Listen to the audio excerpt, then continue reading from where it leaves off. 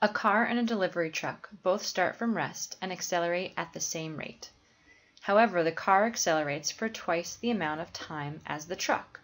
What is the final speed of the car compared to the truck? We need to use the first kinematics equation. V equals V naught plus A T.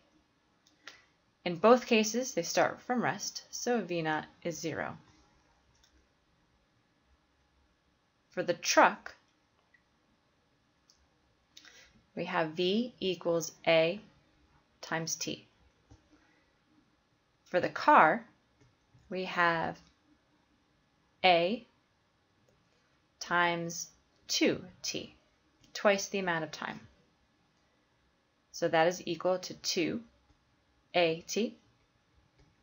Since AT is equal to V of the truck, V of the car is equal to twice V of the truck. So the correct answer is B.